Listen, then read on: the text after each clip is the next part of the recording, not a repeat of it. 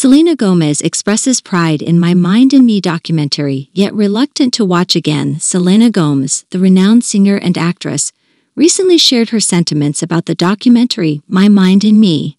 While she expressed pride in the project, she revealed that she won't be watching it again. In My Mind and Me, Selena Gomez openly discusses her personal journey with mental health, offering viewers an intimate look into her struggles and the process of seeking help and healing.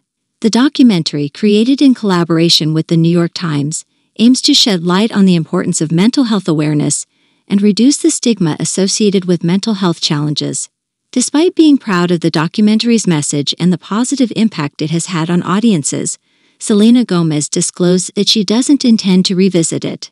This sentiment isn't uncommon among individuals who have shared their mental health journeys publicly. Revisiting such personal and emotional experiences can be challenging. Selena Gomez's decision to participate in My Mind and Me is aligned with her ongoing commitment to destigmatizing mental health conversations. She has consistently used her platform to encourage others to prioritize their well being and seek help when needed.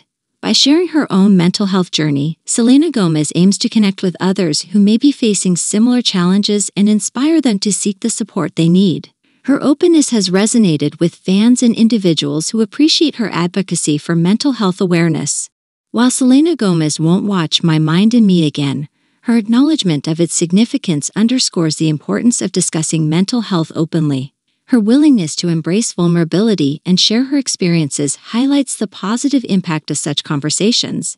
In conclusion, Selena Gomez's pride in My Mind and Me and her decision not to watch it again reflect the complexities of discussing and reliving personal challenges.